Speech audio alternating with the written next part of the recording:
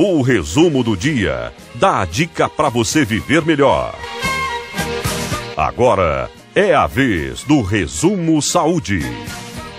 A Anvisa soltou uma resolução no início desta semana suspendendo a vacina da AstraZeneca para as grávidas, as mulheres grávidas de todo o país. Aí vem a pergunta: afinal, essa vacina AstraZeneca, ela deve ou não ser aplicada nas gestantes, nas mulheres grávidas? Como resposta, buscamos uma especialista aqui no estado de Mato Grosso, a doutora Natasha Selesarenko. Olha só, o que está acontecendo? Na verdade, tudo isso foi motivado pela, a partir do óbito de uma gestante que tomou essa vacina. A gente sabe que a vacina AstraZeneca, também conhecida como vacina de Oxford, que é uma parceria da Universidade de Oxford com Biomanguinhos aqui no Brasil, ela tem sido descrita uns casos de trombocitopenia trombótica autoimune. O que, que é isso?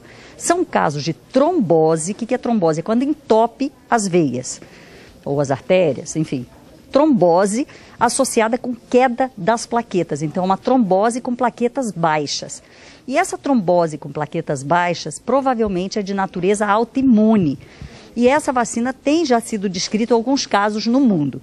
Essa vacina não foi testada entre as gestantes. Então, ela estava sem ser usada nas gestantes. Entretanto, dado ao aumento do número de casos em gestantes, o número de casos de Covid entre as gestantes, para você ter uma ideia, eram feitos aproximadamente 10 diagnósticos é, de, de Covid-19 em gestantes por semana no mês de fevereiro. Em março e abril, isso passou para 29, ou seja, triplicou o número de casos graves em gestantes. E isso então motivou que uma ação fosse feita. No dia 15 de abril, houve uma reunião do Ministério da Saúde, onde então se definiu que as gestantes portadoras de comorbidades poderiam então serem vacinadas, seja com a AstraZeneca, seja com a Coronavac ou agora com a Pfizer. Entretanto, dado a esse óbito que aconteceu nessa gestante com trombose, foi então suspensa a vacinação da AstraZeneca para gestantes e puérperas. Doutora Natasha, e quem já tomou esta primeira dose da AstraZeneca? O que é que vai acontecer?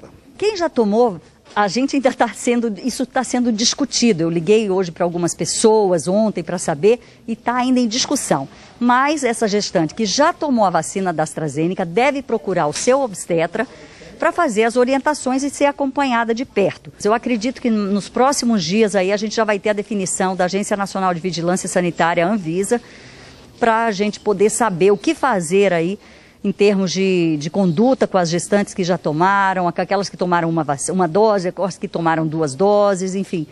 Mas com certeza tudo isso é precaução. A vacina, sem dúvida nenhuma, é eficiente, a, a gente precisa se vacinar e as gestantes é que devem continuar ainda esperando para ver o que vai acontecer. As gestantes que tomaram a AstraZeneca, porque para a Coronavac e a Pfizer, a vacinação a princípio de gestante com comorbidade vai continuar. O resumo do dia agradece pelas explicações, doutora. Quem agradece sou eu e eu estou sempre à disposição. Foi um prazer.